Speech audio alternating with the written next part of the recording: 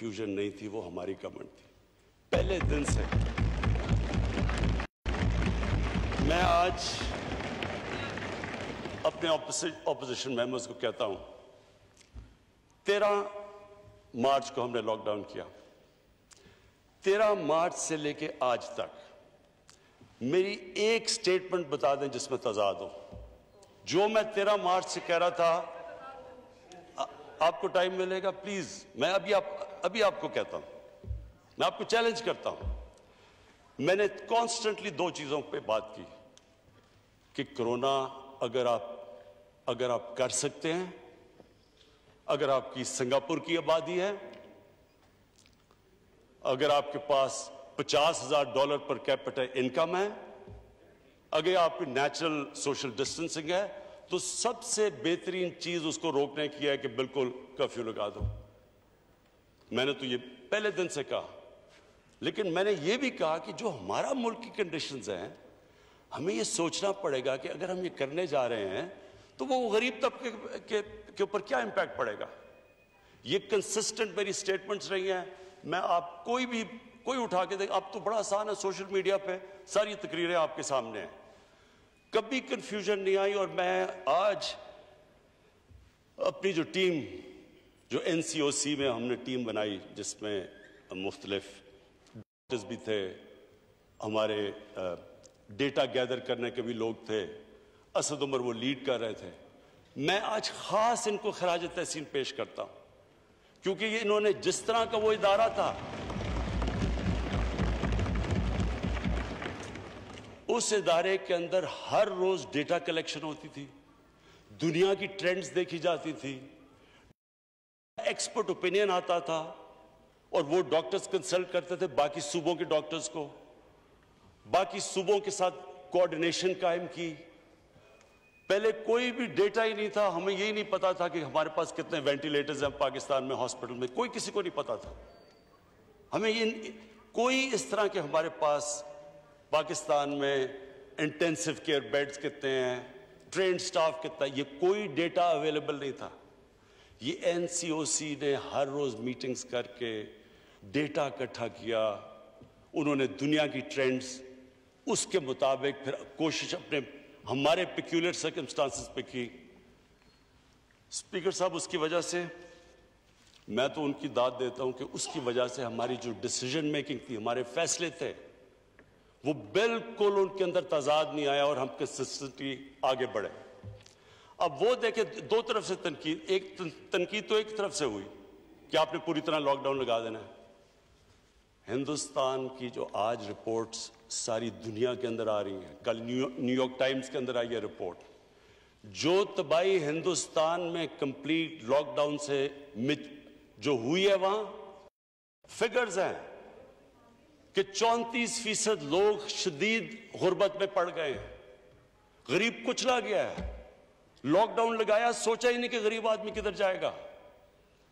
हज़ारों, लाखों लोग सड़कों के ऊपर निकले हुए बेचारे बैग उठा के ट्रांसपोर्ट कर दी। सड़कों के ऊपर लोग मर गए। ये जो स्टडी आई है, जो अब हिंदुस्तान की, कि उस लॉकडाउन, जिस तरह का हम अब सबके सामने है कि उस लॉकडाउन का किस तरह का इंपैक्ट पड़ा। एक इंसानों के ऊपर गुर्बत पे, और दूसरा, आज हिंदुस्तान की रेट देखें। आज वहाँ का जो कोरोना वायरस का जो स्प्रेड है, वो पाकिस्तान से कम है। हमारे से ज़्यादा तेज़ी से स्प्रेड कर रहा है। वहाँ भी मुश्किल है अस्पतालों में। मुंबई के अंदर, दिल्ली के अंदर लोग बाहर खड़े हुए हैं, अस्पताल भरे हुए हैं। तो तो मैं आज स्पीकर साहब फिर से अपनी टीम को खराज तहसीन पेश करता हूँ। कभी हमारे में कंफ्यूजन नहीं थी। कभी कब कोई कंफ्यूजन नहीं थी। जो हर रोज मीटिंग करके अब तक हम यहाँ पहुँचे लेकिन मैं आज अपनी सारी कौम को ये बताना चाहता हूँ कि ये एक बड़ा मुश्किल मरहला हमारे सामने आज है। हमारा जब हमने ये खोला और और क्यों खोला हमने?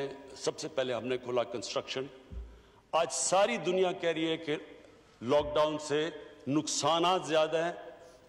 जो कोरोना का कंट्रोल है, वो उतना नहीं होता, नुकसान ज़्यादा होता है। हिंदुस्तान की एग्ज़ाम्पल के अलावा आज आप अमेरिका में देख लें, दुनिया का सबसे अमीर मुल्क, वहाँ देखें न्यूयॉर्क में क्या हुआ। आज तेईस स्टेट्स के अंदर कोरोना भी बढ़ रहा है और वो लॉकडाउन भी खोल रहे हैं। जो दुनिया का सबसे अमीर तरीन मुल्क है, वो भी ये रियलाइज़ कर रहा है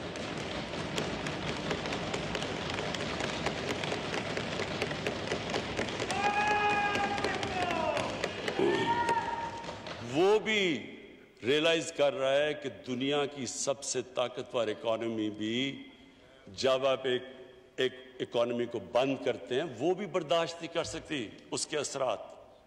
तो हम वो थे जिन्होंने सबसे पहले बात स्मार्ट लॉकडाउन की की, कि सारा 22 करोड़ लोगों को बंद ना करो स्मार्ट लॉकडाउन हॉटस्पॉट्स देखो। ये सारी हमारी एनसीओसी का कमाल है कि वो उन्होंने पूरी पूरी स्टडी करके अपने मुल्क की कंडीशंस में जिस तरह हम चले हैं।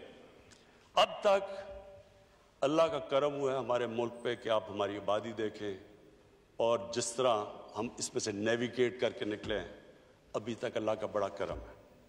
लेकिन जो अगला फ़ेज़ है स्पीकर साहब, ये मुश्किल फ़ेज़ है। ये मुश्किल इसलिए है कि हम पूरी कोशिश कर रहे हैं कि आवाम को समझ आए कि एस ओ पीज़ को फॉलो करना क्यों ज़रूरी है? जो आप जब जो भी एक फैक्ट्री खोलते हैं ट्रांसपोर्ट करते हैं, जो भी आप अपनी कारोबार की आप एक्टिविटी जब खोलते हैं, और वो हमारे लिए ज़रूरी है कि हमने रोज़गार देना है लोगों को, वो इसलिए ज़रूरी है फॉलो करना कि जब क्लस्टर्स होते हैं, हमें पता है ये बीमारी फैल जाती है, तेज़ी से फैलती है। और हमें ये भी पता है कि अगर ये एहतियात ना की गई तो हमारे हॉस्पिटल पे प्रेशर पड़ गया है। और अगर एहतियात ना की तो मजीद और पड़ने वाला है। इसलिए ये सारी इस इस असम्बली से जो भी अवाम देख रही है, जो भी हम सब यहाँ बैठे हैं, ये हम सब के ऊपर लाजम है कि हम ये अपनी तौर पे पब्लिक में लोगों को रियलाइज़ करें कि कितना ज़रूरी है हमें बचाना अपने बूढ़ों को, अपने बीमार लोगों को ब्लड प्रेशर के लोगों को, जिनकी, जिनको डायबिटीज़ है। असल में तो जो स्मार्ट लॉकडाउन का मतलब यह है कि इनको प्रोटेक्ट किया जाए।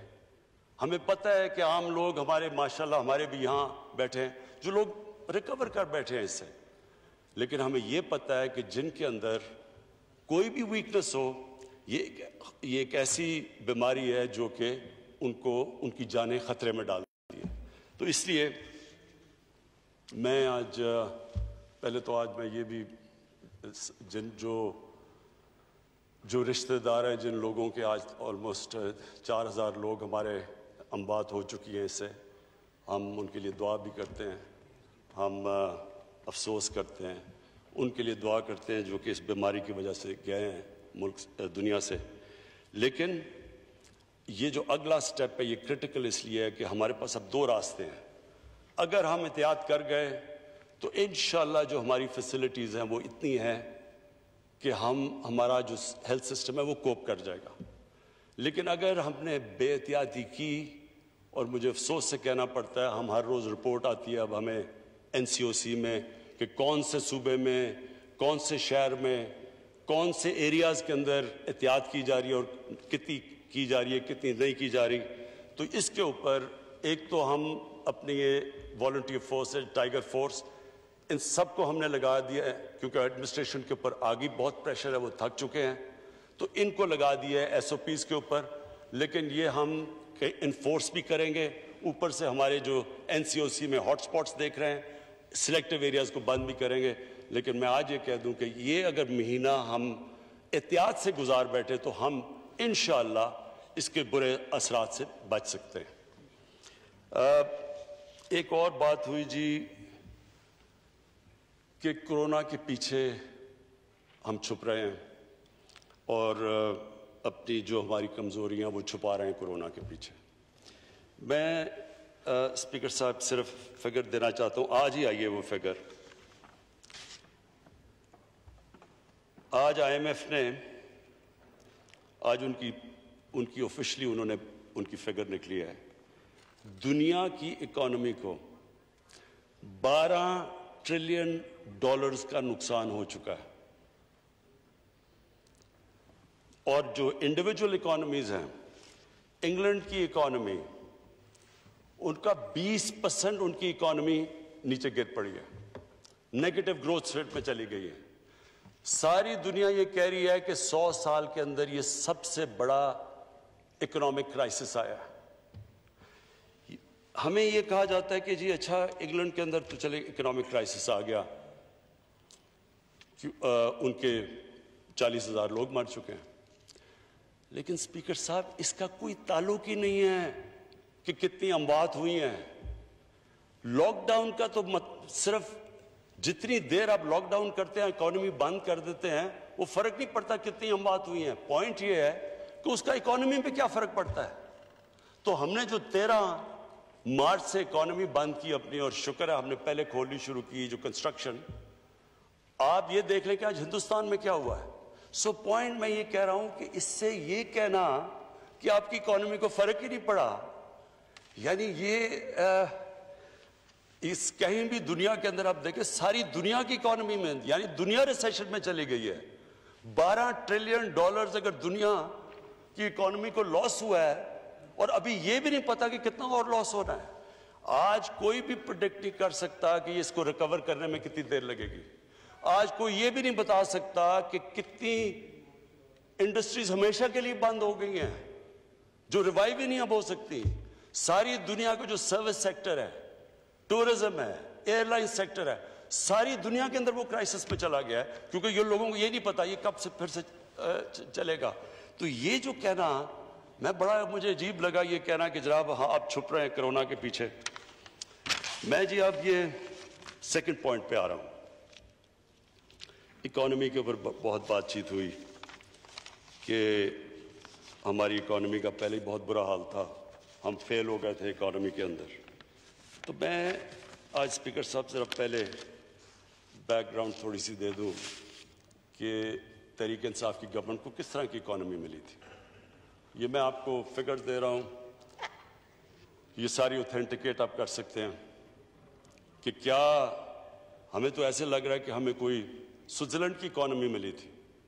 हम तो उसी में परफॉर्म करना है जो हमें मिली थी। हमें तो वहाँ से गेज करें कि क्या ये आपने पॉइंट ज़ीरो से शुरू किया था कि आप ऊपर गए या माइनसेस में गए तो मैं आपके सामने सिर्फ़ स्टेटिस्टिक्स रख दूँ क्योंकि आपको खुद ही एक्सप्लेन कर देंगे कि इकोनॉमी मिली कैसे थी। सबसे बड़ी, जो सबसे बड़ा प्रॉब्लम 20 अरब डॉलर का करंट अकाउंट डेफिसिट था।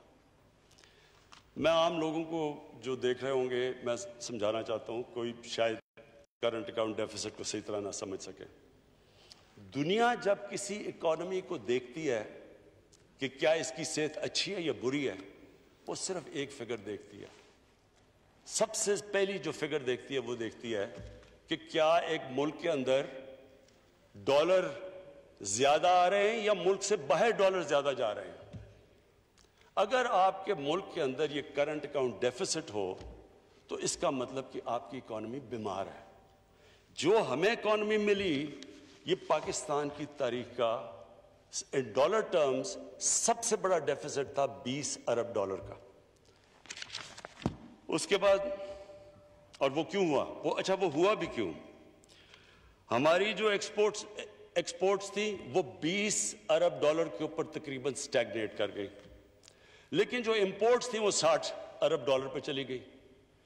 जब इतना बड़ा तजाद इंपोर्ट और एक्सपोर्ट पे हो तो इसका सबसे बड़ा इम्पैक्ट कर जा रहा था?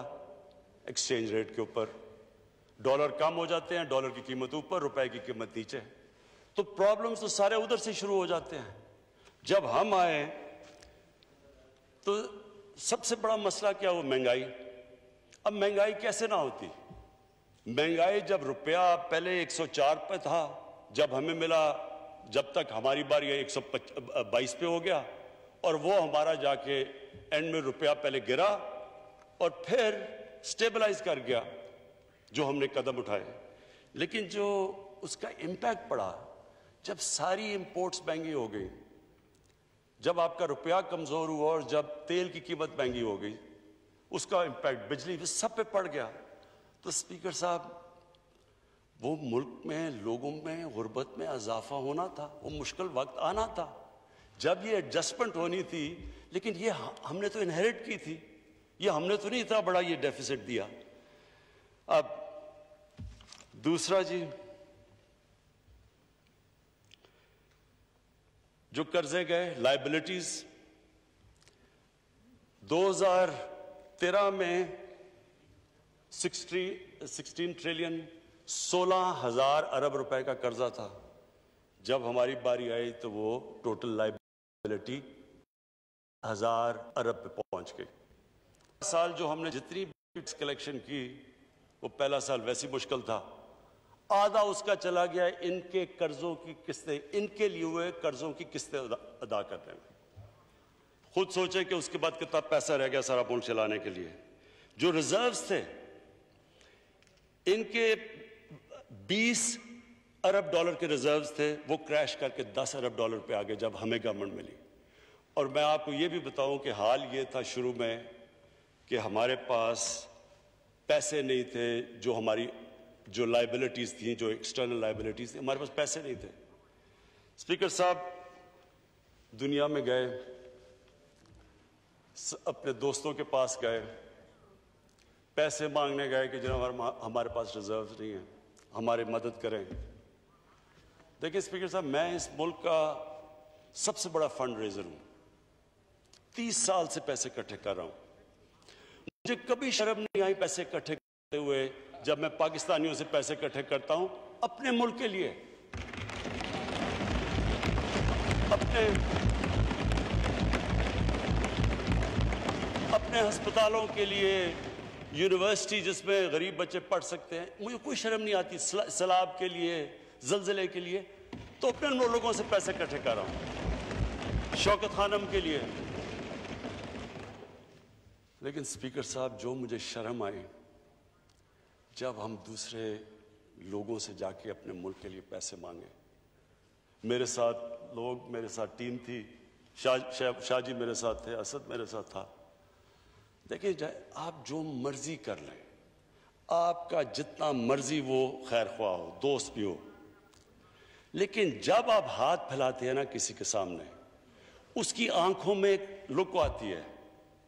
और वो सिर्फ़ मैं मेरे लिए शर्म की बात नहीं मेरे मुल्क के लिए कि मैं मुल्क जब जाके कि, किसी से पैसे माँगता है और वो हम क्यों मांग रहे थे? हमारे पास पैसे नहीं थे।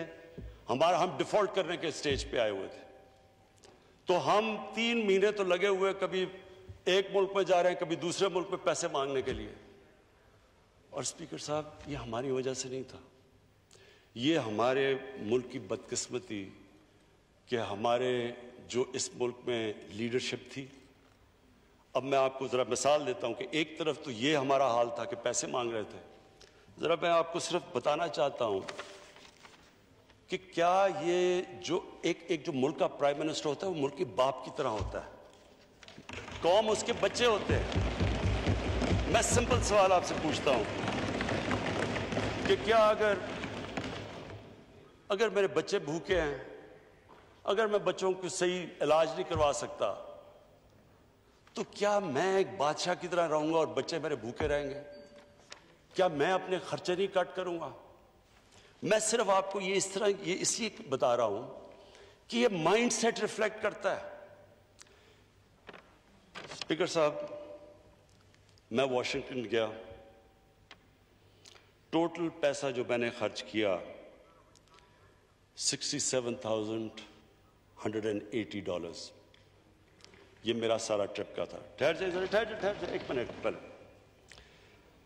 नवाज़ शरीफ ने वही ट्रिप की वॉशिंगटन की। 549,000 डॉलर्स आसिफ जरदारी ने वो ट्रिप की 752,000 डॉलर्स अब मैं सिर्फ़ ये पूछ रहा हूँ कि क्या वहाँ जाने से इतने ज़्यादा पैसा खर्च करने से क्या उनके हुक्मरानों ने समझा होगा कि ये जो कितने ज़बरदस्त लोग हैं कितने बड़े होटल में ठहर रहे हैं एक तरफ़ आप पैसे मांग रहे हैं उनसे दूसरी तरफ़ आप उस तरह ठहर रहे हैं मैं आपको कहता हूँ कि वेस्टर्न डेमोक्रेसी के लीडर इतना पैसा खर्च ना करे जो ये है। आगे आ जाए जी।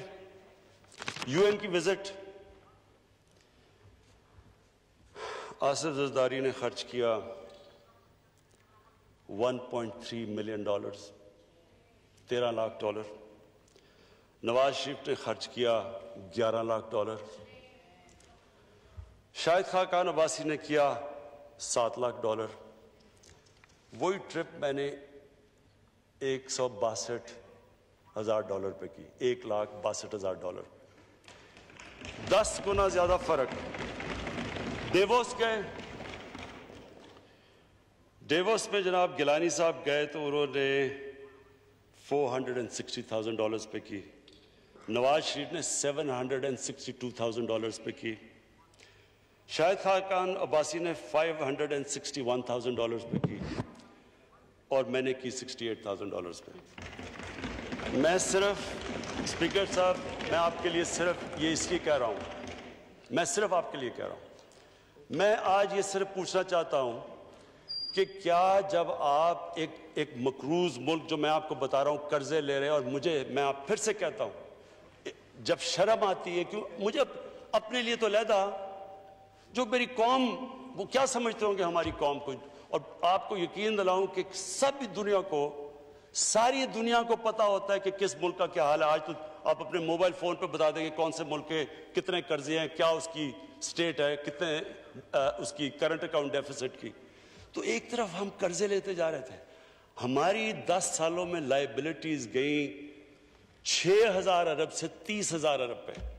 लेकिन जो लोग ऊपर बैठे हुए थे क्या उनको नहीं पता था कि यह मुल्क एक एक डॉलर इंपॉर्टेंट होता है, क्योंकि आप एक आप एक मुल्क के अंदर कल्चर बनाते हैं। आप लोगों को बताते हैं कि हमें फ़िक्र है। जब मैं फ़िक्र करता हूँ तो मुझे उम्मीद होती है कि बाकी भी सारे मुझे देखते हैं। मैंने अगर अपना ये जो स्टाफ था, मेरा प्राइम मिनिस्टर हाउस का, पाँच काम करने वाले थे। वो आधे कर दिए, पैसा हमने कम कर दिए। और और स्पीकर साहब भी और भी कम हो सकते हैं। लेकिन वो स्टाफ आजकल के ज़माने में उनको बेरोज़गार नहीं करना चाहते थे। हम और भी कम कर सकते हैं। हर जगह जब कि कहीं भी दुनिया में जब एक ऑस्टेरिटी एक मुल्क मुश्किल में आता है तो एक फिर हुक्मरानों अपनी एग्ज़ाम्पल से लीड करते हैं। वो ये नहीं करते कि खुद पैसे और लोगों को कहे कि वो पैसे ना खर्च करें। आगे आ जाए जी स्टेट बैंक की बोरोइंग जो हमें मिला, छह ट्रिलियन छ ट्रिलियन रुपया खर्च किया, छह हज़ार अरब रुपया सुप्रीम कोर्ट से लिया जो हमने खत्म कर दिया, हमने कोई बोरिंग नहीं की। फिर जी जो 70 परसेंट जो कर्जे थे 70 परसेंट वो शॉर्ट टर्म थे। हमने आके उल्टा कर दिया। हमारे आज 76 परसेंट कर्जे लॉन्ग टर्म हो गए। हमने वो चेंज कर दिया डेट का, क्योंकि शॉर्ट टर्म ज़्यादा महँगे होते हैं। मैं सिर्फ़ ये याद करा रहा हूँ कि ये सिचुएशन था क्या। सर्कुलर डेट इन्होंने 2013 में सारी circular debt four four eighty या जितनी भी थी, इन्होंने वापस कर दी। उसके बाद जब हमें मिली गवर्नमेंट 1.2 ट्रिलियन 1.2 ट्रिलियन रुपीस की सर्कुलर डेट पहुँच गई। 1200 अरब। कॉन्ट्रैक्ट्स अब हम फंस कैसे गए? सारे कॉन्ट्रैक्ट पहले के साइन हुए हुए हैं। हमारे दौर में तो मुझे करेक्ट कर दे अगर उमर यूब यहाँ बैठा है कि हमारे दौर में तो एक विंड पावर के कॉन्ट्रैक्ट हैं जो कि चार या पाँच पाँच सेंट पे हुए हैं। बाकी तो सारे पुराने कॉन्ट्रैक्ट्स थे। तो एक तो उधर फंस गए। बिजली महँगी प्रोड्यूस हो रही है, बेच रहे हैं सस्ते। बीच में सर्कुलर आ गई। उसके बाद गैस गैस के पंद्रह साल का कॉन्ट्रैक्ट हमने एलएनजी का कर लिया। वो हमने तो नहीं किया। अब वो गैस उसे आधी कीमत की बिक रही है। उससे भी कम। लेकिन हम पंद्रह साल हमने तो नहीं किया। तो ये लाइबिलिटीज के साथ तो मैं ये सिर्फ़ पहले बताना चाहता हूँ कि इस बोझ के साथ पाकिस्तान मिला था। जो मुझे ये बताया जा रहा था कि जनाब, ये तो सारा कुछ किया, ये जवाब हमारे से मांगे जा रहे जवाब जवाब तो उनको देने चाहिए, जो इस स्टेट पे पाकिस्तान छोड़ के गए थे। अब हमने क्या किया? हमारा करंट अकाउंट डेफिसिट जो मैं फिर से सबको कहता हूँ कि एक चीज़ होती है, जब दुनिया आपको तरफ़ देखती है तो वो देखती है कि क्या आपका करंट अकाउंट सरप्लस पे डेफिसिट पे। 20 अरब डॉलर से आज तीन अरब डॉलर पे हमारी करंट अकाउंट डेफिसिट आया। प्राइमरी डेफिसिट प्राइमरी डेफिसिट का मतलब ये कि आपने अपने खर्चे और अपनी आमदनी को बैलेंस नुकसान में, फ़ायदे में प्राइमरी माइनस कर्जे, यानी जो आपने कर्जों की किस्तें अदा करनी है, जो कर्जे पिछलों ने लिए हुए थे। इस बारी हमारा प्राइमरी डेफिसिट सरप्लस पे तो नहीं आया, लेकिन लेवल हो गया। हमारा प्राइमरी डेफिसिट खत्म हो गया। और मैं समझता हूँ, ये इसलिए कि हमने सारी अपनी ऑस्टेरिटी कैंपेन की हमने अपने खर्चे कम किए मैं अपनी हमारी गवर्नमेंट के हमारी फेडरल गवर्नमेंट के खर्चे कम किए हमने पाकिस्तान आर्मी को कहा पहली दफ़ा पाकिस्तान की फौज ने ये दूसरी दफ़ा है कि उन्होंने रियल टर्म से अपने खर्चे कम किए जबकि हिंदुस्तान अपने खर्चे बढ़ा रहा है। इसलिए कि सारे मुल्क ने फैसला किया कि हमारे पास पैसे नहीं हैं। सो so,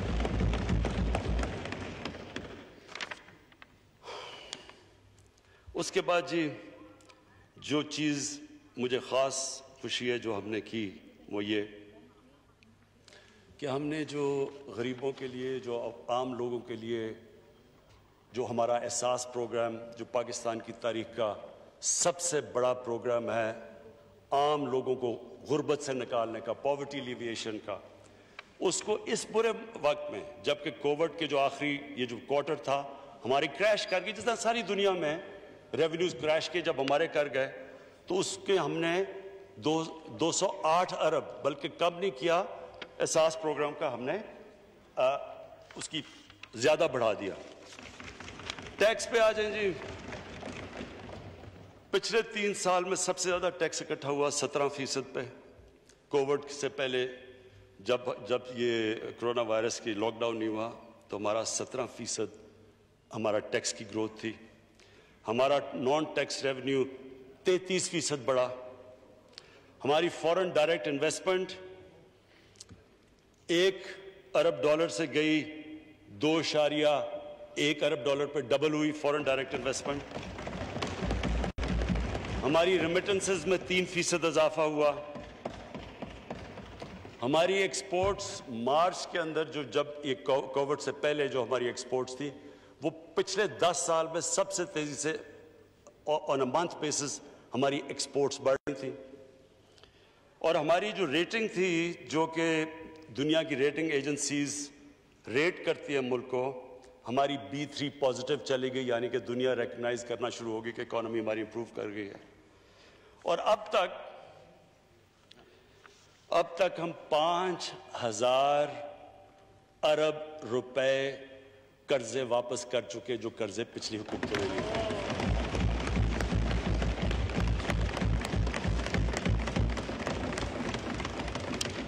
अब जी मैं आपको वे फॉरवर्ड बताता हूँ कि ये जो आजकल हालात हैं, मुश्किल हालात हैं, सब जानते हैं, इनकी सारी दुनिया को प्रॉब्लम है, हमें अकेले को नहीं है। तो ये जो अब हालात हैं, इसके अंदर अब हम क्या प्रपोज कर रहे हैं?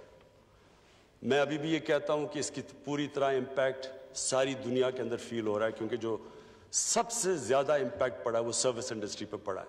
होटल्स पे रेस्टोरेंट्स पे टूरिज़्म पे, हमारे इलाके हैं कई, और मुझे ख़ास तौर पे अफसोस होता है हमारे जो पहाड़ी इलाके हैं, वहाँ सिर्फ़ वो डिपेंड करते हैं नॉर्दर्न एरियाज़ हैं हमारे वो डिपेंड करते हैं कि चार पाँच गर्मियों के महीने में जो वो अपनी आमदनी इकट्ठी करते हैं। तो इस वक्त जो सबसे बुरी तरह ये बहुत बड़ा एक इलाका मुतासर हुआ है इसके साथ। हमारी कोशिश तो है कि हम किसी तरह एस ओ पीज़ के साथ थोड़ी टूरिज़म खोलें, लेकिन हर वक्त प्रेशर पड़ा हुआ है कि एक तरफ़ हमें फ़िक्र है कि वो करते हैं तो कोरोना ऊपर ना चली जाए, दूसरी तरफ़ लोगों की जानें बचाएँ, लोग भूखे ना मर जाएँ। तो ये सबसे तो अभी हम कोई प्रोडिक्ट नहीं कर सकते कि इसका इतना कितना फॉल आउट आएगा। तो हम इसके लिए वैसे मैं कहना चाहता हूँ कि पूरी तरह हम तैयार बैठे हैं।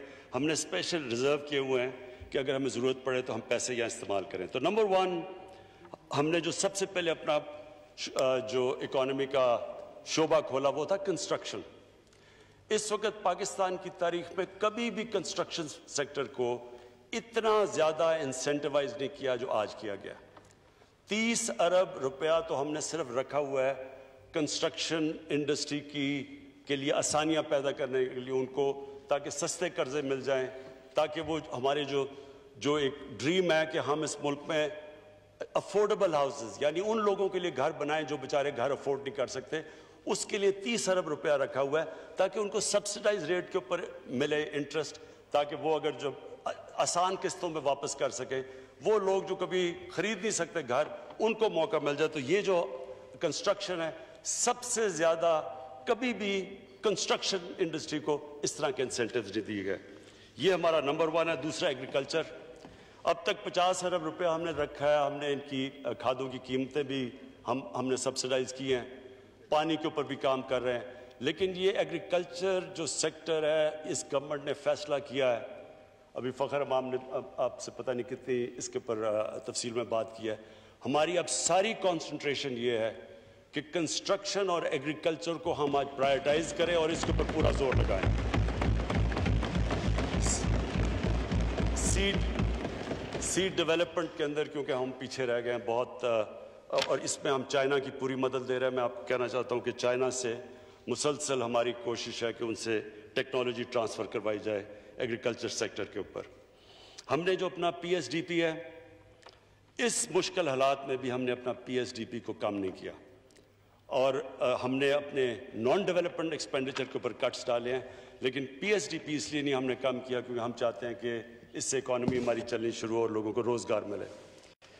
हमारा जी जो तीसरा इंडस्ट्री इंडस्ट्री के अंदर जब तक हम अपनी एक्सपोर्ट्स नहीं बढ़ाते, हम इसी क्राइसिस के अंदर जो अब तक फंसे हैं, ये करंट अकाउंट डेफिसिट में फंसे रहेंगे।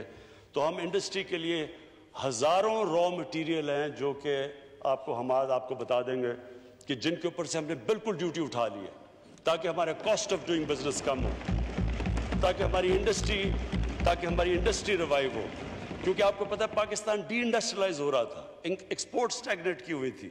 और एक्सपोर्ट्स के बगैर देखिए ना ये बड़ी अच्छी बात करते हैं कि जी ग्रोथ रेट आपकी नीचे आ गई। क्या आप एक, पाँच परसेंट पे ग्रोथ रेट थी। अगर आपकी ग्रोथ रेट पाँच परसेंट पे है और आपका रिकॉर्ड करंट अकाउंट डेफिसिट है आपकी इंपोर्ट साठ अरब की हैं और एक्सपोर्ट्स बीस अरब की हैं तो वो तो मुल्क वो सस्टेनेबल ही नहीं है वो तो जाना उसने क्राइसिस में है। जो भी दुनिया आगे निकली है वो तो सिर्फ़ निकली एक्सपोर्ट लेड ग्रोथ के ऊपर है।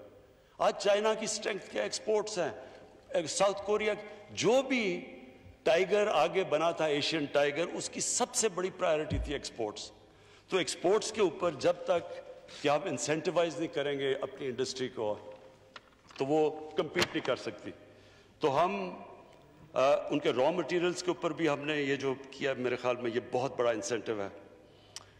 और फिर चौथी चीज़, मैं ये जो अपना एहसास प्रोग्राम है, ये हमारा सबसे इम्पोर्टेंट प्रोग्राम है क्योंकि स्पीकर साहब, कभी भी कोई मुल्क आगे, आज तक दुनिया में ऊपर गया ही नहीं, जिधर एक छोटा सा तबका अमीर होता जाए और आवाम उधर की उधर रहे, गरीब रहे। ये जो हमारा मुल्क में अमीर और गरीब के अंदर फ़र्क बढ़ता जा रहा है ये सबसे बड़ी इम्पेडिमेंट है इस मुल्क के आगे बढ़ने से। ये ये हमें रोक रहा है आगे बढ़ने से। तो ये जो हमारा एहसास प्रोग्राम है ये मल्टी है। एक तो कैश हैंड आउट्स ये जो हमने बड़े मुश्किल वक्त पे जो बचाया है लोगों को ये जो कैश दिया है एक सौ चवालीस अरब रुपया ये जो एक सौ ये, ये रिकॉर्ड टाइम के अंदर इतना ज़्यादा पैसा इतने ज़्यादा वन एक करोड़ बीस लाख ख़ानदान को इतने थोड़े टाइम पे इतना ज़्यादा पैसा और शफाफियत से कोई आज नहीं कह सकता कि किसी ने पॉलिटिकल बेसिस पे ये, ये पैसे बांटे और ये इंशाल्लाह 100 और ये हम इसको आगे भी एक्सपेंड कर रहे हैं। और एक आ, इसको एक करोड़ साठ लाख खानदानों तक हम ये लेके जा रहे हैं। जो आ, स्पीकर साहब जो दूसरी चीज़ जिसके ऊपर मुझे ख़ास मैं समझता हूँ कि ये जो मेरी हम मेरी और मेरी हमारी पार्टी की हमेशा ये जो हमारी विजन है कि इसने जाना है एक फलाई रियासत की तरफ़। तो फलाई रियासत के ऊपर जो पहला हमने कदम उठाया था मुश्किल हालात में जिस तरह मैंने बताया इकॉनमी मिली पनागाह अब तक हम 200 पनागाह बना, बना चुके हैं और हमारा हमारा प्रोग्राम है कि ये हर जिधर भी लेबर सेंटर्स है जिधर भी मजदूर जाता है जिधर भी डेली वेजर आता है उसके लिए हम ये पनागाज बनाते जाएँ ताकि उसके पैसे बचें। वो जब पनागाह में ठहरता है तो उसकी आ, उसको खाना मिलता है वहाँ उसको उसको कोई रेंट नहीं करना पड़ता सड़क पे नहीं सोता वो नहाता है वहाँ। तो ये हम पनागाह हमारा पूरा प्लान है कि ये सारे पाकिस्तान में एक्सपेंड करना है।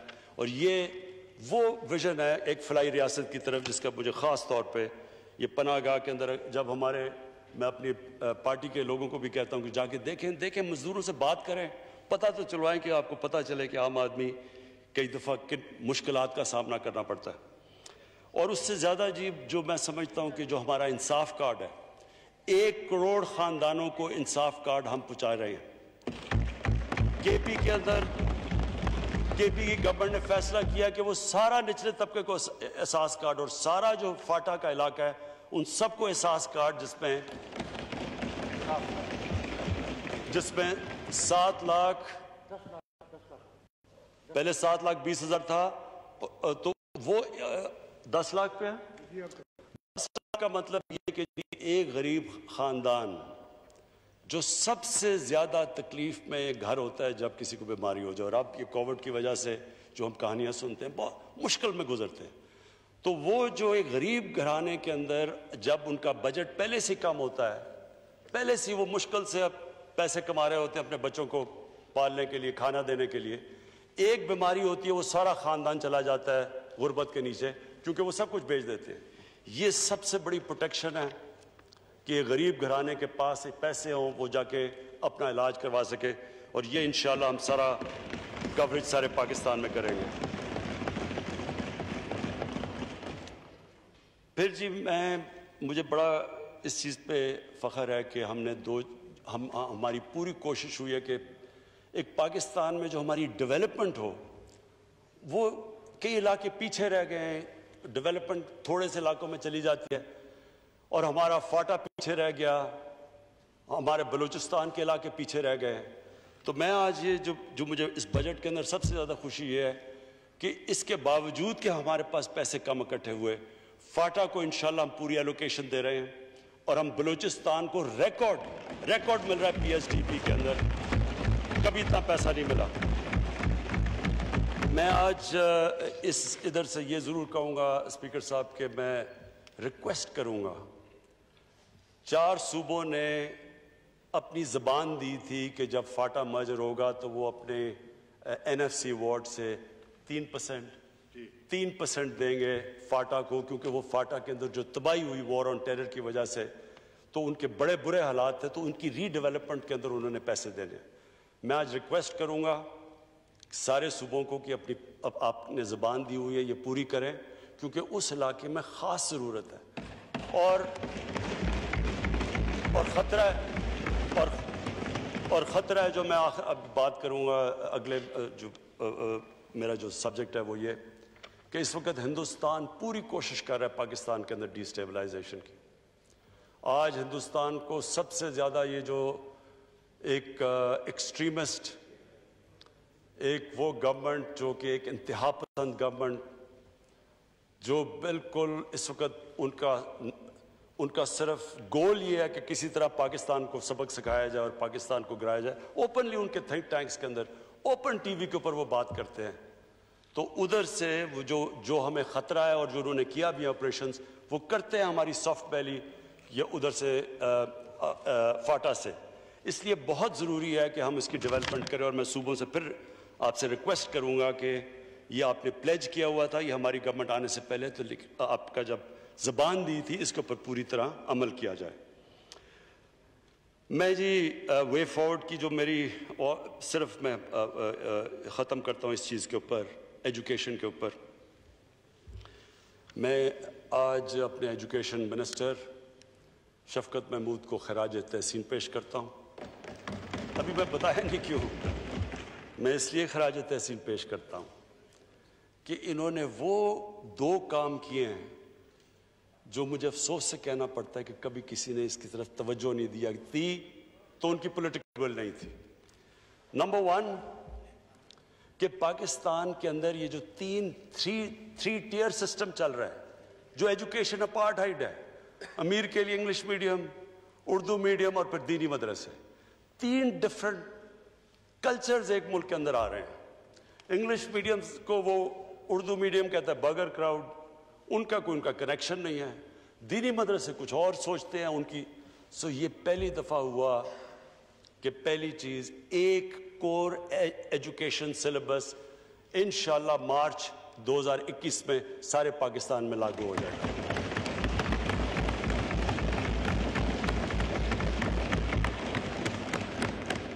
इसमें इन्होंने बड़ी कंसल्टेशंस की हैं, बड़ी मुश्किल प्राइवेट स्कूल सबको बैठा के मेरे ख्याल में एक ये बहुत बड़ी अचीवमेंट है।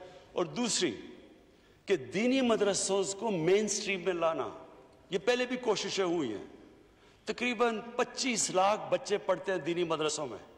आज तक किसी ने नहीं सोचा कि वो क्यों नहीं मेन स्ट्रीम में आ सकते, वो क्यों नहीं डॉक्टर्स इंजीनियर्स बन सकते।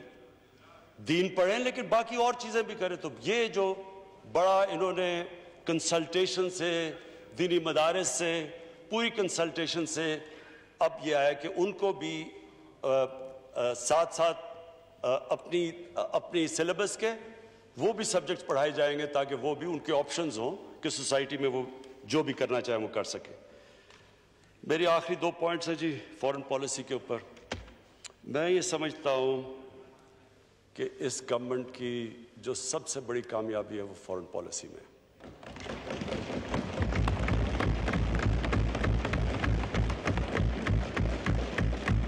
स्पीकर साहब, पहले तो मैं अमेरिकन, अमेरिका के साथ अपनी ताल्लुकात के ऊपर बात कर दूँ। अमेरिका से जिस तरह हमने वॉर ऑन टेरर में उनका साथ दिया और जो जिल्लत उठानी पड़ी मेरे मुल्क को, मैं नहीं समझता कि कभी भी किस, कोई मुल्क एक वॉर ऑन टेरर में साथ दे और उनके, उनका साथ दे। और वो वो बुरा भला भी हमें कहें। कामयाब अफ़गानिस्तान में ना हो तो वो भी पाकिस्तान जिम्मेदार है। ओपनली मुझे कभी नहीं भूलता एक वो भी एक हमारे पाकिस्तानियों के लिए बड़े दो शर्मिंदा वाक़ जिसमें हम सब बड़े शर्मिंदा हुए। एक हुआ जी उसामा बिन लादन को इन्होंने अमेरिकन ने आके एबटाबाद में मार दिया, शहीद कर दिया। उसके बाद क्या हुआ? सारी दुनिया ने हमें गालियाँ निकाली। बुरा हमें कहा। हमें बुरा भला कहा।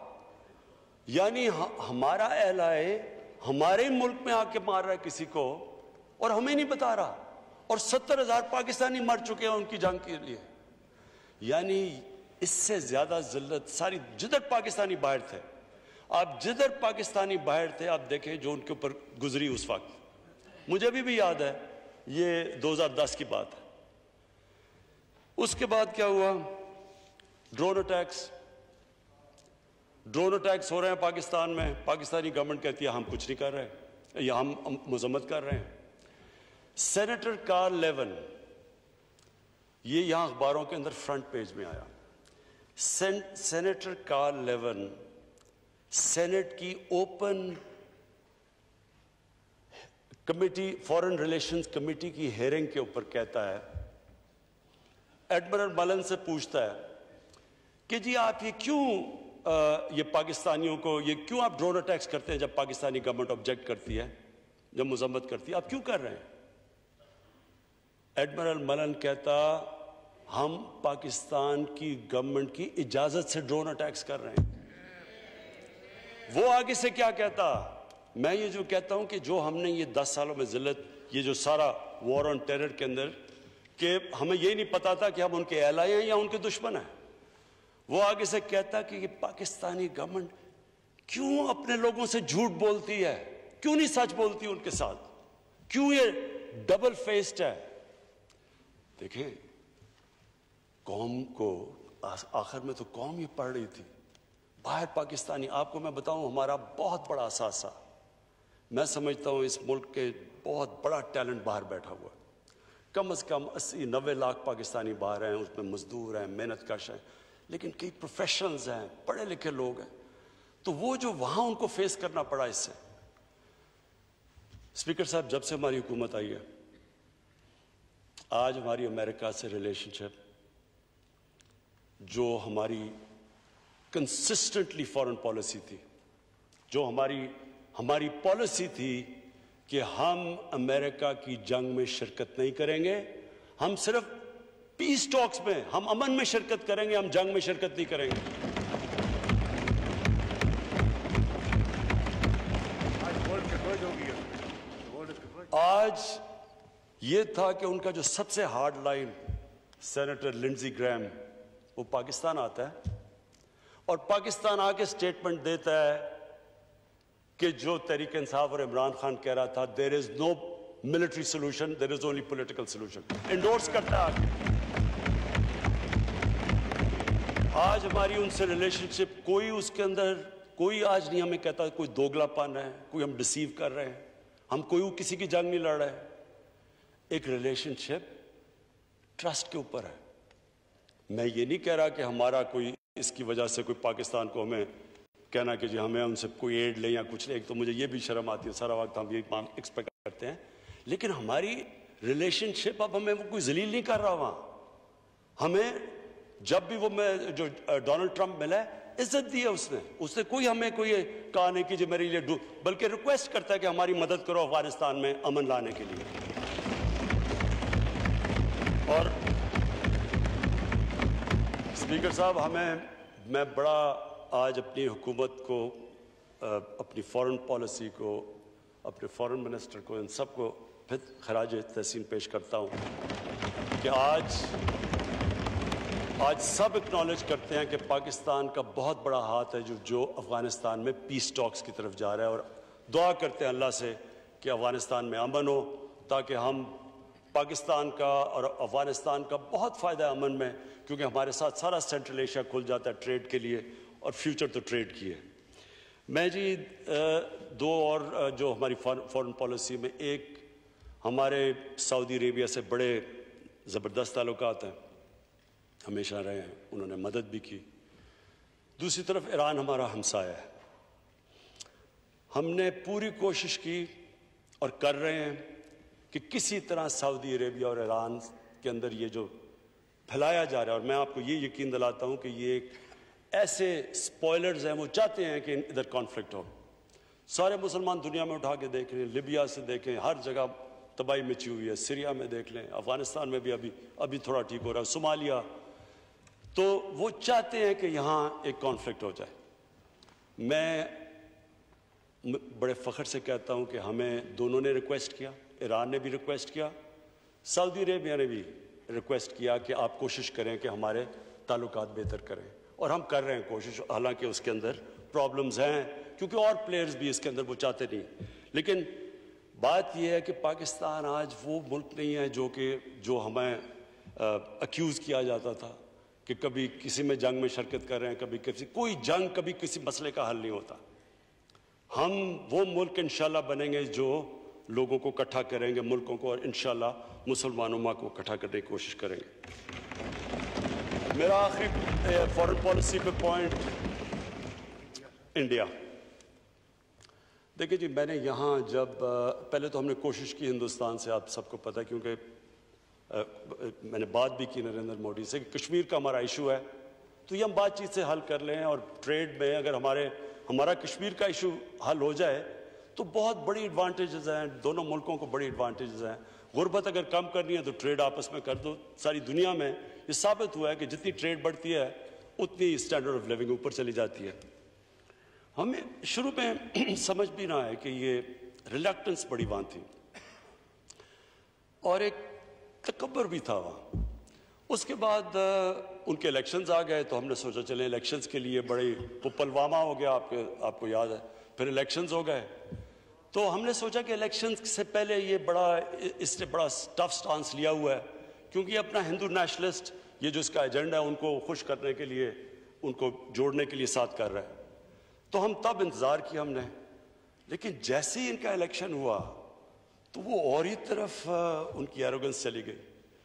और फिर जब पाँच अगस्त को इन्होंने कश्मीर में ये जो इलीगली कश्मीर को अनेक्स करके और आर्टिकल 370 ख़त्म किया तो मुझे याद है, यहीं मैंने एक तकरीर की और मुझे अपोजिशन ने तनकीद की कि जी, आप क्या तारीख की बातें कर रहे हैं? आपने तो तारीख का सबक बता दिया। स्पीकर साहब, अब वो पीछे चले जाएँ उस दिन तो मैंने वो क्या कहा था? मैंने ये कहा था कि हमारा मुकाबला ये कोई इंटरेस्ट के अगेंस्ट नहीं है। ये इंडिया अपने इंटरेस्ट नहीं प्रोटेक्ट कर रहा। हमारा एक आइडियोलॉजी के खिलाफ मुकाबला है। ये एक हिंदुवता, एक हिंदू सुप्रेमसिस्ट एक फैशिस्ट एक नाटसी इंस्पायर्ड आइडियोलॉजी का मुकाबला है। वो पाकिस्तान को समझते नहीं है कि ये कोई कोई मुल्क जो, जिससे कोई उनके ताल्लुकात अच्छे होने चाहिए। वो हमें एक, उस स्टेट उधर दबा के रख जाते हैं जो इस वक्त हिंदुस्तान में मुसलमान दबाया हुआ उन्होंने। तो स्पीकर साहब, मैंने तो ये तब तब भी ये कहा कि इसके बड़े सीरियस रिपोकशंस हैं। क्योंकि ये जो, जिस तरफ़ आप जा रहे हैं और आपने देखा होगा कि अब उन्होंने कई जगह पे पाकिस्तान के कश्मीर को अपने, आज़ाद कश्मीर को अंदर शामिल किया हुआ है। क्योंकि इनकी इनकी सोच कुछ और है। और उसके बाद मैं यूनाइटेड नेशंस गया। उधर मैं खुद लीडर्स को मिला। सारे हेड्स ट्रंप इंक्लूडेड जिसने कहा मैं कश्मीर में मीडिएट करूँगा। सबको मैंने समझाया कि हिंदुस्तान में एक बहुत बड़ा, एक अजाब आ गया है। सिर्फ़ मुसलमानों पे नहीं ये हिंदुओं के ऊपर भी बहुत बड़ा अजाब है, ये जो आदमी आ गया है। ये एक फनेटिक है। जिसने गुजरात में जो किया था, एक चीफ मिनिस्टर ने इजाज़त दी तीन दिन के लिए। मुसलमानों को जिस तरह कत्ल किया, औरतों को रेप किया, एक लाख लोग रेफ्यूजी हुए, तभी समझ आनी, आ जानी चाहिए थी, ये नॉर्मल आदमी नहीं है। और मैंने पूरी कोशिश की, मैं गया, इन जो अमेरिका का जो सबसे बड़ा जो अखबार है न्यूयॉर्क टाइम्स जो कि ओपिनियन मेकिंग अखबार है, उसके सारे एडिटोरियल बोर्ड को मैंने समझाया चेक करें कि ये आरएसएस की क्या कनेक्शंस थी नाटसीज के साथ हिटलर के साथ, ये कैसे एडमायर करते थे? उन्होंने खुद तहकीकात की। आज आप देखें, ये पाँच अगस्त से आज तक ले लें। कभी इंटरनेशनल मीडिया और अमेरिकन मीडिया में कभी भी हिंदुस्तान को वो क्रिटिसिज्म नहीं हुई, वो जो उन्होंने कश्मीर के लिए नहीं बोले, जो आज वो बोल रहे हैं। कभी भी हिंदुस्तान को इंटरनेशनल मीडिया में वो कॉन्डेमनेशन नहीं है, जो आज मिल रही है। कभी पाकिस्तान को आज बांग्लादेश के बनने के बाद ये पहली दफ़ा है कि पाकिस्तान को बाहर बेहतर मीडिया मिलता है, बनस्बत हिंदुस्तान के। 1965 के बाद यूनाइटेड सिक्योरिटी यूनाइटेड नेशंस की सिक्योरिटी काउंसिल में दो दफ़ा दो दफ़ा ये इशू उठाया गया। उससे पहले कभी एक डेड इशू था। और ये हमारी बहुत बड़ी कामयाबी थी स्पीकर साहब, कि खुद वहाँ मीडिया से इंटरेक्ट किया। जब मैं न्यूयॉर्क था यूनाइटेड नेशंस की सिक्योरिटी काउंसिल में मैंने ये उठाया, ये कश्मीर का, समझाया लोगों को आरएसएस का। और उससे आज आप देखें कि सारे जितने भी जो इस्टेब्लिश्ड वेस्टर्न अखबार हैं सब के अंदर इनको जो अब अब जो ये आरएसएस को कहा जाता है कि जो कैसे उन्होंने तबाही मचा रही है सेकुलरिज्म की ख़त्म वगैरह वगैरह तो ये एक हमारा बहुत बड़ा क्रेडिट था, लेकिन मुझे सिर्फ़ अफसोस से ये कहना पड़ता है कि जब वो यूएन से हम वो पूरा अमेरिका का टूर से वापस आए और हमारा काम था कि अब इसको और आगे लेके जाते तो यहाँ एक ड्रामा शुरू हो गया कि जनाब वो गवर्नमेंट जा रही है कंटेनर आ गया, सब आ गया वो सारा एक महीने के लिए जो पीक जाना चाहिए था कश्मीर इशू का अनफॉर्चुनेटली वो नीचे चला गया। लेकिन मैं आपको ये कहना चाहता हूँ कि ये कश्मीर इशू आज दुनिया के अंदर उधर पहुँच गया है। ख़ास तौर पर नरेंद्र मोदी ने फिर वो हरकतें की, वो जो उसने दो लेजिस्लेशन पास की, ख़ास तौर पर मुसलमानों को करने के लिए। और फिर जब ट्रंप आया तो ट्रंप के दौरान जो प्रोग्राम हुआ, जो उन्होंने मुसलमानों का कत्लेआम किया तो ये दुनिया में अब इशू बन चुका है। अब हमारा काम है, हम इस पूरा प्लान कर रहे हैं कि इस इशू को हम आगे बढ़, लेके जाएँ। कश्मीर इशू एक ऐसा है जी कि मेरा अपना जो, मेरी जो अपनी समझ है, हो सकता है मैं गलत हूँ। मेरे ख्याल में ये पॉइंट ऑफ़ नो रिटर्न पे पहुँच गया। हिंदुस्तान हिंदुस्तान जो आठ लाख फौज वहाँ रख के उनको दबाने की कोशिश कर रहा है, ये अनसस्टेनेबल है। और उसने किया क्या कि कश्मीरियों को बिल्कुल एलिनेट कर दिया है। अब कोई भी लीडरशिप जो प्रो इंडिया होगी, वो कश्मीर में चल ही नहीं सकती। बंदूक के ज़ोर पे वो कितना चले जाएँगे? अस्सी लाख लोगों को इस तरह दबा के ये अनसस्टेनेबल है। और मेरे ख्याल में कि ये इन ये कोविड के बाद, ये जब ये ख़त्म होती है तो ये ये ये अब रुक नहीं सकती मूवमेंट मैं आखिर में जी, मैं आखिर अपनी कंक्लूड करता हूँ तकरीर। स्पीकर साहब कोई भी कौम एक विजन के बगैर नहीं चलती।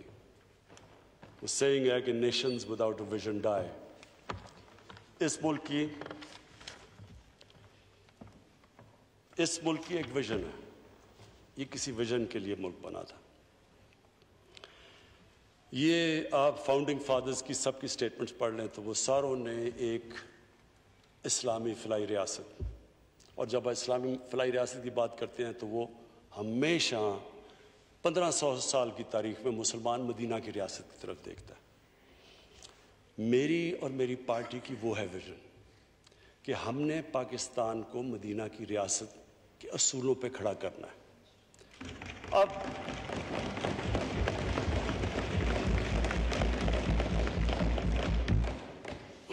स्पीकर साहब, जब से हमारी गवर्नमेंट आई है, कहीं कोई पहाड़ पे एक्सीडेंट होता है तो किधर है जी मदीना की रियासत?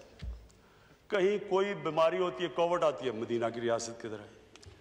देखिए जी, लोगों को पता ही नहीं है, मैं ज़रा थोड़ा सा पाँच मिनट लेके बताना चाहता हूँ कि मदीना की रियासत क्या थी। और मैं ये चाहता हूँ कि हमारे सारे बच्चों को अल्लाह मान किसी को देता है, वो एक अल्लाह की, सिर्फ़ अल्लाह के पास है। अल्लाह ने किसी को जुरिस्डिक्शन नहीं दी किसी को ईमान दे। नबी सल्लल्लाहु अलैहि वसल्लम को भी अल्लाह ने कहा कि तुम्हारा काम है कि सिर्फ़ पैगाम देना। हिदायत, क्या वो इंसान में ईमान आता है? वो अल्लाह की जुरिस्डिक्शन है। लिहाजा कुरान में, दीन में कोई ज़बरदस्ती नहीं है। हमारा दीन एक ऐसा दीन है जिसमें हम कई दफ़ा गलत हरकतें करते हैं कि जी ज़बरदस्ती किसी के। ये तो अल्लाह का एक ख़ास एक उसकी ख़ास नेमत है कि वो किसी को किसी को ईमान दे दे या ना दे। लेकिन हमारे यूथ को पता होना चाहिए कि इस बेसिस ये स्टेट बनी क्यों थी? इलामा इकबाल की क्या सारी फ़िलासफ़ी थी? कायद आज़म जिसको लोग और तरह देखते जी, बड़े लिबरल आदमी थे, कायद आज़म क्यों कहते थे कि हमारी कॉन्स्टिट्यूशन उस वक्त कहते चौदह सौ साल पहले बनी थी मदीना में? सो एक मदीना की रियासत के कई असूल थे। नंबर वन असूल नंबर वन इंसानियत थी। दुनिया की तारीख की पहली फलाई रियासत बनी थी। एक स्टेट ने ज़िम्मेदारी ली थी अपने गरीब लोगों की। और वो जो पैटर्न फॉलो करता है, और जो भी, मेरा ये कंटेंशन है आज स्पीकर साहब, जो भी मदीना के रियासत के असूलों पे चलेगा, वो कौम उठ जाएगी। चाहे वो मुसलमान हो या ना हो। आज आज स्पीकर साहब, चाइना और मैं ये बड़ा फख्र से कहता हूँ कि हमारे बे, सबसे बेहतरीन ताल्लुक चाइना से आज हैं। और मैं इसलिए कहता हूँ कि हम जो चाइना के एक्सपीरियंस से हम सीख सकते हैं दुनिया में और किसी मुल्क से नहीं सीख सकते। चाइना ने वो किया जो मदीना की रियासत में हुआ। हमारे नबी सल्लल्लाहु अलैहि वसल्लम ने कमज़ोर तबके को ऊपर उठा के एक अजीम कौम बना दी। चाइना ने तीस साल में सत्तर करोड़ लोगों को गुर्बत से निकाल के आज वो दुनिया की सबसे तेज़ी से इकोनॉमी यानी सारी दुनिया को पता कि चाइना को कोई it's a matter of time कि चाइना दुनिया की सबसे बड़ी पावर बन जाए। तो हुआ क्या?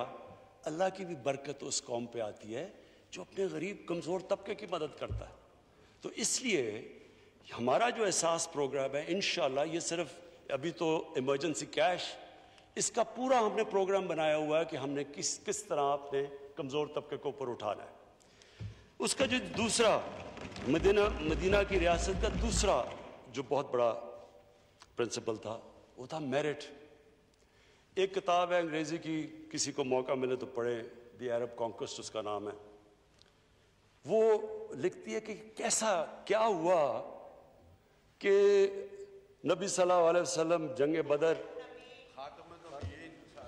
जी जी जी जी जी जी। जी।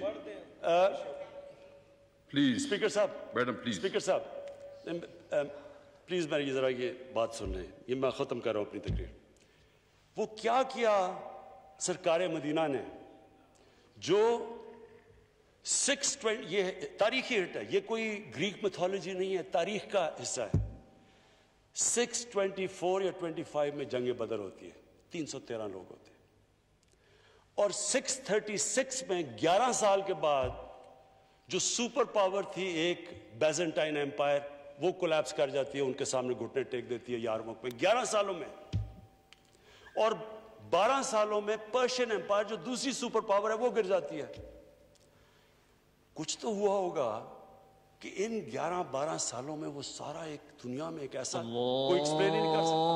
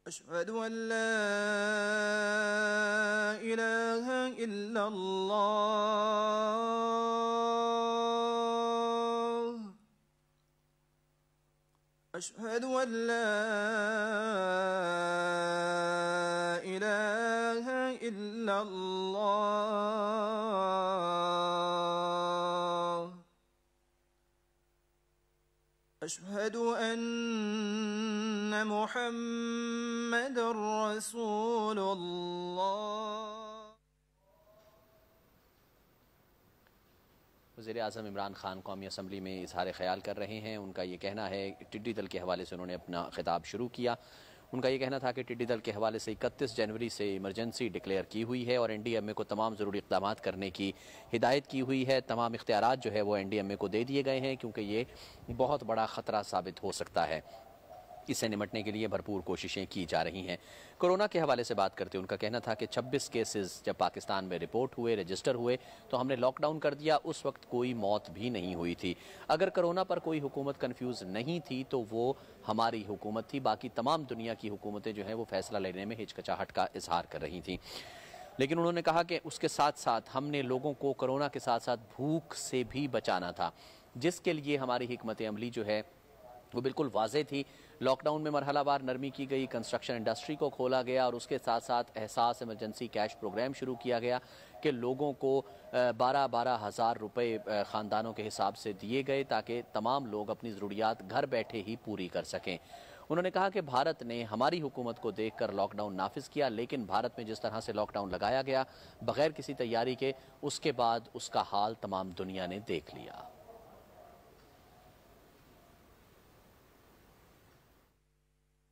जी। जी, मैं सिर्फ़ ये कंक्लूड कर रहा हूँ कि वो एक फिनोमेना था। हमारे सारे यूथ को, हमारी यूनिवर्सिटीज़ में, हमारे बच्चों को पढ़ाना चाहिए।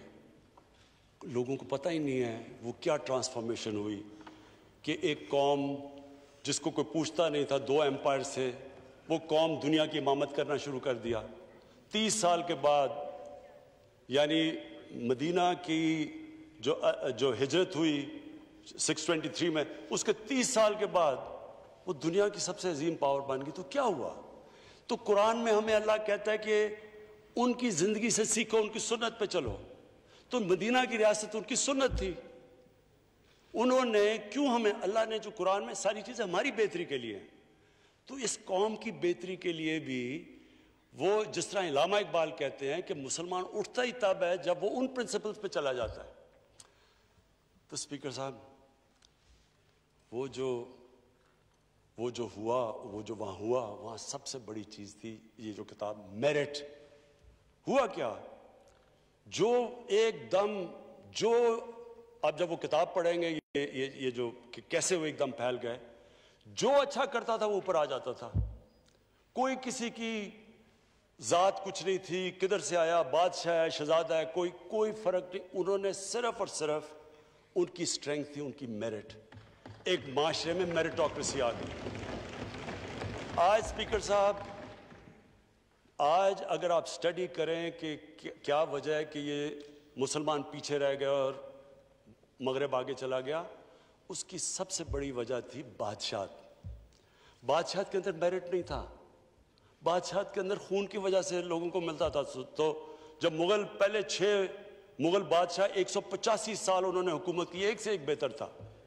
लेकिन औरंगज़ेब के बाद छह ने एक सौ पचासी साल हुकूमत की, औरंगज़ेब के बाद तेरह सालों में अगले छह ने हुकूमत की, क्योंकि किसी में कैपेबिलिटी नहीं थी।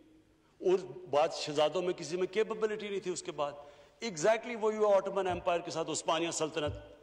सुलेमान के बाद उसके बाद कौन आया? उसने जो असल जो, जिस शहजादे ने आना था, जिसको ट्रेन किया हुआ था, जो केपेबल था, उसको साजिश करके मरवा के तो एक और, एक बीवी ने अपना बेटा ले आई जो सलमान की फेवरेट थी। उसके बाद उनकी डिक्लाइन शुरू हो गई। सो डेमोक्रेसी क्यों प्रिवेल की? जितनी डेमोक्रेसी में मेरिट होती है, उतनी डेमोक्रेसी आगे चली जाती। है इलेक्शन में डेमोक्रेसी नहीं है। डेमोक्रेसी में मेरिट होती है और डेमोक्रेसी में अकाउंटेबिलिटी होती है लीडरशिप की। उसकी वजह से डेमोक्रेसी बादशाह को पीछे छोड़ गई। आज चाइना आगे निकल गया है। आज चाइना का यह है कि आज उनकी जो मेरिट का सिस्टम है, आज आप उनकी फॉलो करें कम्युनिस्ट पार्टी ये जो दो आए हैं, उनके प्रेसिडेंट ली और जो president prime minister premier Lee और प्रेसिडेंट 40 40 साल इन्होंने गाँव से उठ के ऊपर आए हैं। इनकी इतनी, इनका तजर्बा आप हैरान हो जाएँगे। कि किस तरह उनका सिस्टम इनको ऊपर लेके आया। और जो जो जो अगली चीज़ कि क्यों माशरे आगे चले जाते हैं, मदीना की रियासत में सबसे बड़ी चीज़ क्या थी? मेरिट के अलावा रूल ऑफ़ लॉ कानून की बालादस्ती। आज तक कोई दुनिया का माशरा कानून की बालादस्ती के बगैर ऊपर नहीं जा सका।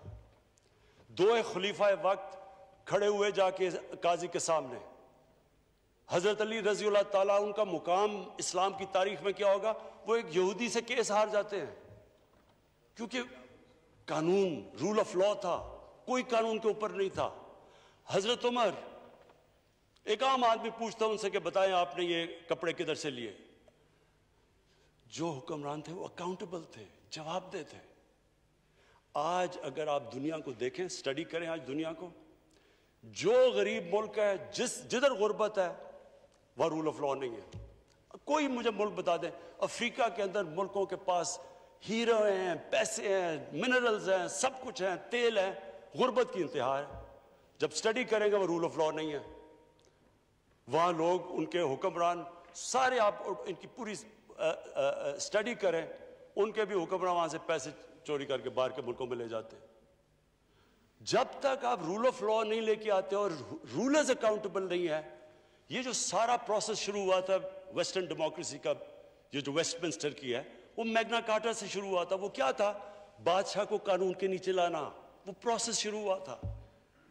तो हम आज पाकिस्तान में ये अपने जेन में डाल रहे हैं कि कोई मुल्क आज तक जब उसके, जब तक उनके जो हुक्मरान हैं, उनको मुल्क के कानून अप्लाई नहीं करते और वो अकाउंटेबल नहीं है, वो जवाबदेह नहीं है, वो मुल्क तरक्की नहीं कर सकता। आज तकरीबन एक ट्रिलियन एक हज़ार अरब डॉलर गरीब मुल्कों से जाता है अमीर मुल्कों में हर साल। और इसमें से एक तो ट्रेड सरप्लस होता है क्योंकि उनके ज़्यादा चीज़ें वो खरीद हम खरीदते हैं उनकी। लेकिन दूसरा, जो रूलिंग एलिट्स मुल्क से पैसा चोरी करके बाहर बेचती है, ये ये ये सबसे बड़ी वजह है कि उन मुल्कों में गरीब अमीर में भी फ़र्क हो जाता है और गरीब मुल्क और अमीर मुल्कों में फ़र्क हो जाता है। स्पीकर साहब, मेरा कोई किसी से लड़ाई नहीं है। मैं पहले दिन से जब यहाँ आया हूँ, तकरीर नहीं करने दी मुझे। जब मैं बात करता हूँ, शोर मिचता है, गलत बातें करती है, मेरी किसी से कोई लड़ाई है? मुझे, इन सबको जो जो भी ये समझता है कि ये मैं किसी से लड़ाई की वजह से या कोई मैं अपने दुश्मनियाँ किसी से है, मेरी कोई किसी से दुश्मनी नहीं है। मैं आज आपके सामने कह रहा हूँ कि अगर पाकिस्तान के अंदर हमारे मुल्क में अगर सही माने में अकाउंटेबिलिटी प्रोसेस ना चला, हम किसी सूरत इतना पैसा नहीं इकट्ठा कर सकते अपने बच्चों को तालीम देने के लिए, सेहत, उनके इलाज करने के लिए, अस्पताल ठीक करने के लिए। हम आगे बढ़ ही नहीं सकते। और ना हम क्या, कोई मुल्क नहीं बढ़ा। अब स्विट्जरलैंड के पास क्या है? न्यूजीलैंड के पास क्या है? उनके पास तो कुछ भी नहीं है।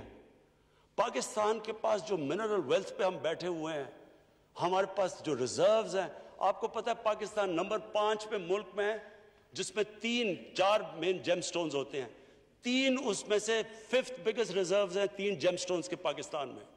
गरीब तरीन मुल्क है, वो चोरी होकर बाहर जा रहे हैं। कोई मुल्क को फ़ायदा ही नहीं हो रहा। हमारे पास ये जो रेको डेक का, ये क्या हुआ है? करप्शन की वजह से ये सारा फंसा हुआ है, जिधर हर पाकिस्तान को पैसा फॉरन एक्सचेंज आना चाहिए था, नहीं आ रहा।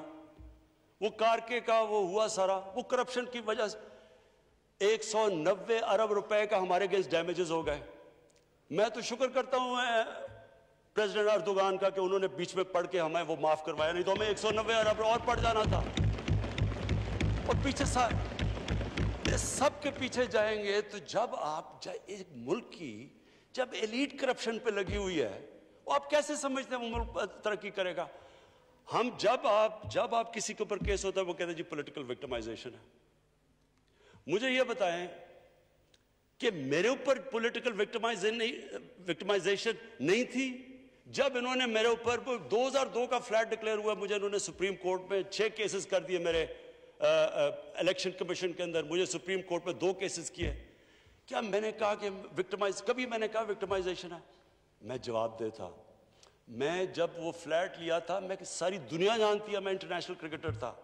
मैं तो जवाब दे ही नहीं था। मेरे पास तो कोई पब्लिक ऑफ़िस नहीं था। उसके बावजूद दस महीने में स्पीकर साहब, जो मेरे से सुप्रीम कोर्ट ने जवाब मांगे मैंने दिए। चालीस चालीस साल पुराने कॉन्ट्रैक्ट दिए। मॉर्गेजेस दिखाए।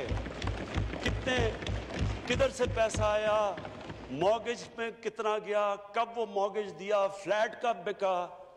बीवी से जो पैसे लिए हुए थे यहाँ ज़मीन लेने के लिए, आपको पता है सुप्रीम कोर्ट ने मेरे से पूछा कि जनाब आप बताए साबित करें कि आ, आपने बीवी को पैसे वापस किए थे। वो बीवी ने ईमेल दे रही है कि हाँ इसने पैसे वापस किए थे। उन्होंने कहा नहीं सबूत दो। ये कभी हुआ ही नहीं है ऐसे कि वो बीवी कह रही है पैसे वो कहते नहीं बैंक स्टेटमेंट्स निकाल के दी पंद्रह साल पुरानी जो मेरा ट्रांजैक्शन बीवी के साथ था।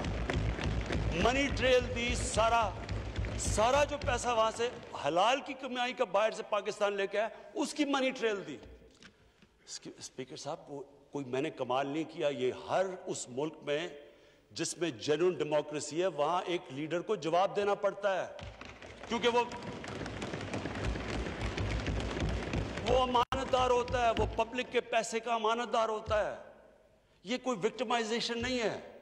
और ये जो नैब है, ये हमने तो नहीं नैब बनाई। एक आदमी हमने भर्ती नहीं करवाया, नैब तो पुरानी है। नाइन्टी परसेंट केसेस भी पुराने हैं, लेकिन गालियाँ हर रोज मुझे पड़ती हैं। कि जनाब देखें, इमरान खान ने ये कर दिया, वो कर दिया। देखें, स्पीकर साहब, मैं चाहता हूँ कि हमारी पार्लियामेंट चले। मैं चाहता हूँ कि डिबेट हो सही, क्योंकि डिबेट के बगैर आइडियाज़ तराशे नहीं जाते। डिबेट सबसे जो, सबसे इंपॉर्टेंट चीज़ डेमोक्रेसी की अकाउंटेबिलिटी और मेरिट के बाद तीसरी चीज़ है, वो डिबेट होती है। डिबेट से क्या होता है? अब देखें, इंग्लैंड के अंदर ब्रेक्सिट, कोई भी नहीं समझ रहा था कि इतने दो आम मुल्क डिवाइड हो गया, एक कहता रहना एक कहता, नहीं रहना। लेकिन उन्होंने किस तरह डिबेट के बाद एक मुल्क इकट्ठा हो गया। ये सबसे बड़ा कमाल होता है। यहाँ डिबेट ही नहीं हो सकती। जब बात करो, वो शुरू हो जाते हैं कि जी, वो नैब न्याजी नेक्सस या कभी कुछ शुरू हो जाते यानी इस तरह तो मुल्क, देखे ना स्पीकर साहब, मैंने तो नहीं नैब बनाई। पॉइंट ये है कि क्या फंडामेंटल प्रिंसिपल ये है। क्या हमारे जो इकतदार में लोग रहते हैं, वो जवाब देना चाहते हैं अपनी वेल्थ का या नहीं देना चाहते। और अगर वो नहीं देना चाहते तो बाकी क्यों देंगे? आप जो कल्चर होता है, वो ऊपर से सेट होता है। वो कहते हैं fish rots from the top जब ऊपर से खराब होता है तो सारा माशा नीचे तक तबाह हो जाता है। करप्शन के करप्शन का स्पीकर साहब नंबर वन प्रॉब्लम ये होता है कि मुल्क में जो पैसा ह्यूमन डेवलपमेंट में जाना होता है, वो लोगों की जेबों में चला जाता है। नंबर टू प्रॉब्लम ये होता है, क्योंकि चोरी का पैसा होता है, वो मुल्क में नहीं आप रख सकते, वो आपको मुल्क से बाहर भेजना पड़ता है। वो सेकेंडली वो और जब आप पैसा बाहर भेजते हैं एस्टिमेट लगाया जाता है, दस अरब डॉलर पाकिस्तान से मनी लॉन्डर होता है हर साल। ये स्टेट डिपार्टमेंट का, अमेरिका का एस्टिमेट है। तो ये जब दस अरब डॉलर बाहर जाता है तो हमें जाके आईएमएफ से छह अरब का कर्जा लेना पड़ता है। जब आपका मुल्क का पैसा बाहर जाता है, वो पैसा मुल्क में खर्च हो तो हम रोज़गार दे सकते हैं, वो बाहर चला जाता है। उसके बाद रुपए पे ज़्यादा प्रेशर पड़ जाता है। उसके बाद जब आप करप्शन करते हैं, आपको इदारे तोड़ने पड़ते हैं, आपको, अब ये क्या हुआ? शुगर अब मैं सिर्फ़ लास्ट खत्म करता हूँ। शुगर इस शुगर क्या हुआ? शुगर इंक्वायरी में क्या चीज़ें सामने आई? ये शुगर इंक्वायरी पाकिस्तान में लैंडमार्क इंक्वायरी हुई है। चीनी की कीमत बढ़ गई। चीनी की जब कीमत बढ़ी, हमें लोगों ने कहा कि जनाब आप सब जिम्मेदार हैं। हमने इंक्वायरी कर दी। इंक्वायरी के अंदर सरसरी रिपोर्ट आई। हमने जब सरसरी रिपोर्ट आई तो उससे कंक्लूसिव उस पर रिपोर्ट क्या आई? पता, सबसे पहले ये जरा कमाल की चीज़ सुने कि जब हमने पता चलवाया कि जनाब ये चीनी की कीमत कौन डिटर्मन करता है? क्योंकि ये कीमत जो बढ़ी है, वो कहते जी शुगर मिल एसोसिएशन फैसला करती है चीनी की कीमत क्या होनी चाहिए? जिन्होंने जो फ़ायदा उठा रहे हैं, वही फैसला कर रहे हैं। जब हमने फोरेंसिक उसकी ऑडिट की स्पीकर साहब, उसमें जो चीज़ें निकली इसी एक केस को ले ले तो आप सोच लें कि पाकिस्तान से हो क्या रहा है। सबसे पहले क्या चीज़ निकली? उनतीस अरब रुपए की चार सालों में सब्सिडी ली उन्होंने। और टोटल टैक्स सारी शुगर मिल्स ने नौ अरब रुपए का दिया। सारी शुगर मिल्स ने मिलकर नाइन बिलियन रुपीस का टैक्स दिया। सेकंड चीज़ क्या सामने आई? कि जो बेचारे किसान थे, उनसे किस तरह उनको प्रेशराइज करके फ्रंट मैन कटौती करते हैं। उनकी प्राइस सेट होती थी 180 कितनी? उनको मिलती थी 140 बीच में। अपने ही शुगर मिल्स के टाउट जाके वो पैसा वहाँ बच जाता था। फिर पता चला कि जो शुगर स्टॉक्स पड़े हुए होते थे, वो सिर्फ़ 60 टू 70 परसेंट डिक्लेयर होते थे। बाकी 30 परसेंट ऑफ़ बुक्स जाते थे। बिलियन यानी अरबों रुपए का वहाँ फ़ायदा हो जाता था। सेल्स टैक्स बच जाता था। फिर पता चला कि जनाब, जो चीनी एक्सपोर्ट की जाती है रिबेट तो ले लेते थे। ये जरा सुने। पता चला कि वो चीनी सत्तर फ़ीसद अफ़गानिस्तान जा रही है। जब देखा तो वो अफ़गानिस्तान उसमें से थोड़ी सी बाकी चीनी वापस आ जाती थी रिबेट भी ले लेते थे सेल्स टैक्स भी बचा लेते थे। और ऊपर से जब मैंने वो चाइनीज़ प्राइम मिनिस्टर से मिला और हमने, हम अपनी एक्सपोर्ट बढ़ाने की, हमारे क्राइसिस हुआ हुआ था फॉरेन रिज़र्व हमारे पास फॉरेन एक्सचेंज रिजर्व्स का। तो जब मैंने चाइनीज़ प्राइम मिनिस्टर को कहा कि जी हम, हम उसने कहा सरप्लस क्या? मैंने कहा जी शुगर मिल्स ने हमें सबने कहा कि जनाब अगर आप चीनी नहीं उठाएँगे तो किसानों के हम किसानों से नहीं लेंगे तो किसान सड़कों पे आ जाएँगे तो आपको रिबेट देनी पड़ेगी। प्रेशर में हम नई नई गवर्नमेंट आई थी हमने रिबेट दे दी। तो अब जब वह बेच रहे हैं जब मैंने उससे कहा कि जी हमारी हमारे पास चीनी का सरप्लस है तो ये शाहजियाँ बैठे हुए थे साथ मेरे। मुझे कहता, चीनी तो हम आपकी ले रहे हैं। आपकी चीनी की क्वालिटी भी बुरी है और आपकी चीनी हमारे से है भी ज़्यादा महँगी। तो स्पीकर साहब, ये है एलीट कैप्चर इस मुल्क का। ये है अलमिया। और ये मैं आज आपको बता रहा हूँ, ये जैसी जैसी हम खोलते जाएँगे आगे, ये आप देखेंगे कि ये सारा मुल्क में ऐसे हो रहा है। जो लोग ऊपर बैठे हुए हैं, वो ना टैक्स देते हैं अवाम को भी महँगी चीज़ें देते हैं मोनोपलीज हैं सारे जितने स्टेट के अदारे थे, जितने रेगुलेटर्स थे S C P competition commission of Pakistan F B R सब मिले हुए थे। इन्होंने दो बुक्स रखी हुई थी। एक बुक के अंदर के वो जो ऑफिशियल है, दूसरी बुक के अंदर बकायदा रखा हुआ है कि केन कमिश्नर को कितने तनख्वाह जा रही है, वो एफबीआर वाले को कितने पैसे जा रहे हैं। बकायदा किताबों में लिखा हुआ है कि सारों को रहे थे। तो मैं सिर्फ़ ये कंक्लूड करता हूँ। स्पीकर साहब अपनी ऑपोजिशन से बड़े रिस्पेक्ट से कहना चाहता हूँ। मेरी कोई किसी से दुश्मनी नहीं है, ना बदला लेना चाहता हूँ। मैं सिर्फ़ बिलीव करता हूँ कि हमारा मुल्क अल्लाह ने इसको इतनी नेमतें दी हैं, अल्लाह ने इससे क्या क्या चीज़ें नहीं हमें दी। लेकिन जब तक इस मुल्क रूल ऑफ़ लॉ मीन्स कि everyone is equal of law जब तक रूल ऑफ़ लॉ और लीडरशिप की अकाउंटेबिलिटी नहीं होगी, हम भी वही सारे बनाना पब्लिक्स की तरह एक समुंदर होगा गरीबों का और से लोग होंगे। शुक्रिया। वजी अजम इमरान खान कौमी असम्बली में इजहार ख्याल कर रहे थे। उनका कहना है कि पाकिस्तान को ऊपर लेकर जाना है, उनकी किसी से कोई दुश्मनी नहीं है। उनका मकसद और सिर्फ़ पाकिस्तान को और पाकिस्तानियों को खुश बनाना है। वजी अजम इमरान खान कौमी असम्बली में इजहार ख्याल कर रहे थे के हवाले से। उसके बाद कोरोना वायरस और उसके बाद फॉरेन पॉलिसी और पाकिस्तान की जो सूरत हाल है, उन्होंने कहा कि उसी वक्त हो सकती है पाकिस्तान में मेरिटोक्रेसी का फ़रोग हो दौर दौरा हो और जमहूरीत में जब तक किसी को काबिल एहतसाब नहीं तस्वुर किया जाएगा, उस वक्त तक जमहूरीत तरक्की नहीं करेगी और हमारा प्यारा मुल्क तरक्की नहीं करेगा। जनासिम वजी अजम इमरान खान कौमी असम्बली से खिताब कर थे, हमने बरह रास्त आपसे शेयर किया, आप हमारे साथ रहे, आपका बहुत शुक्रिया।